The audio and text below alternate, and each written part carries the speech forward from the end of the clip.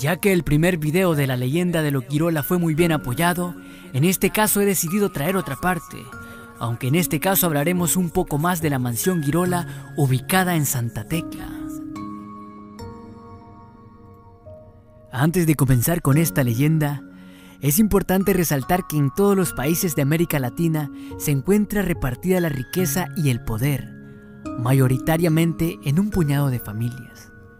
A pesar que en algunos lugares existen sistemas de movilidad social que permiten a otros ascender, las familias poseedoras del poder y riqueza se mantienen siempre gobernando y manejando al país. Tal es el caso de la familia Girola.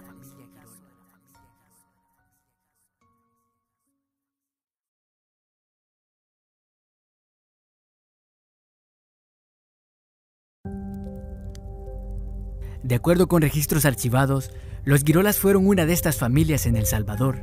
Estos tenían orígenes relativamente modestos hacia mediados del siglo XIX, adquiriendo una gran preponderancia en el sector exportador del país y pronto vino a convertirse en una de las siete familias más grandes y poderosas, tanto así que controlaban los cultivos de café y las instituciones del gobierno. Sin embargo, su notorio ascenso no pasó inadvertido.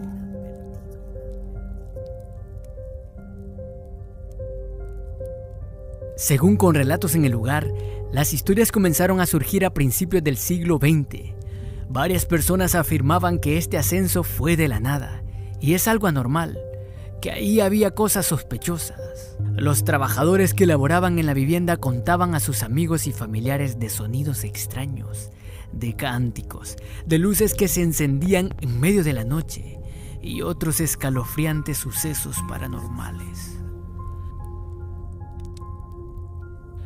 De esta manera comenzó la historia de la familia Girola y su pacto con el diablo. Contrario a lo que habitualmente se suele hacer, esta historia comenzará desde el final.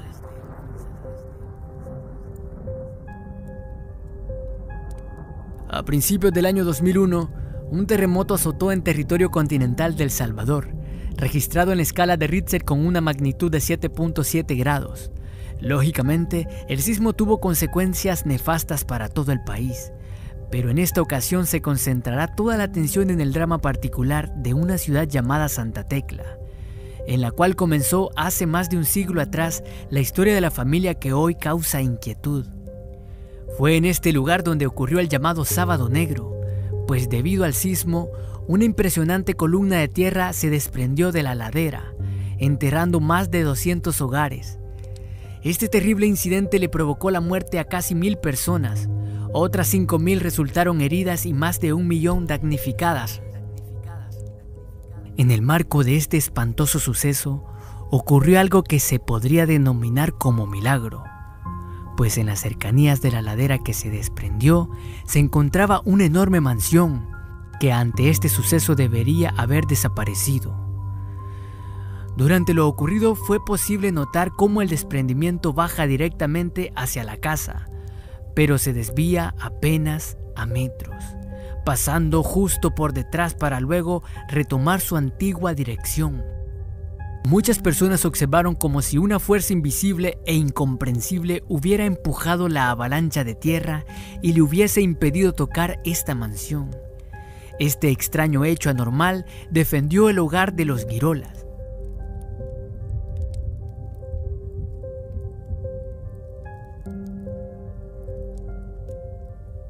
Luego de observar estas imágenes, te preguntarás, ¿de dónde viene la familia Girola? Pues bien, luego del desastre las leyendas de la familia volvieron a correr de boca en boca, ya que por décadas habían permanecido más bien en las sombras.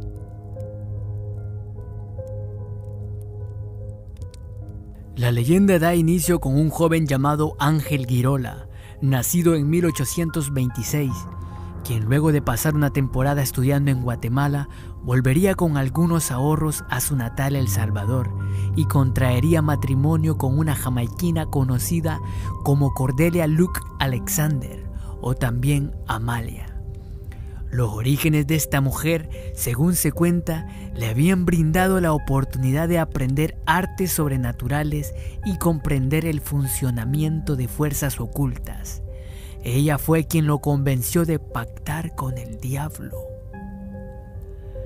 El éxito del joven lo llevó a generar buenos ingresos, con lo cual construiría una imponente mansión al estilo parisino en las laderas de la ciudad de Santa Tecla en 1876.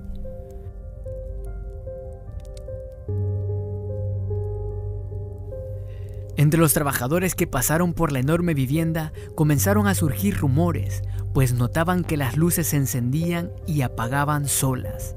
Escuchaban extraños sonidos dentro y fuera del hogar, además del impresionante éxito de la familia.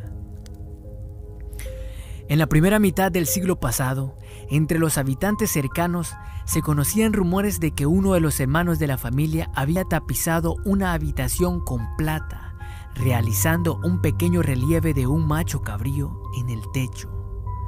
Algunos incluso han llegado a relatar sórdidas historias que involucran al supuesto sacrificio de animales e incluso personas.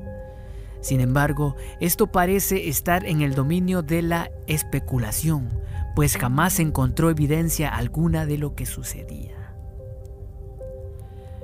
A medida que los años transcurrían, la familia fue perdiendo la superioridad, pero aún en el presente continúa siendo imponente en la política salvadoreña.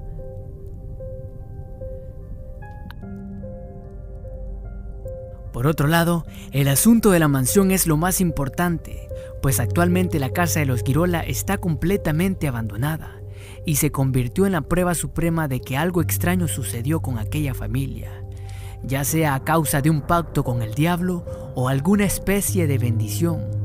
Lo cierto es que la mansión sobrevivió al terremoto contra todo pronóstico, de un modo que muchos consideran no solo lo extraño, sino casi antinatural.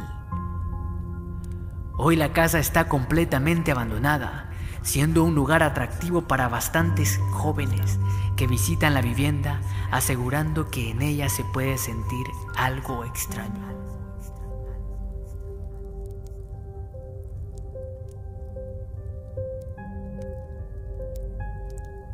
Dime tú qué piensas al respecto.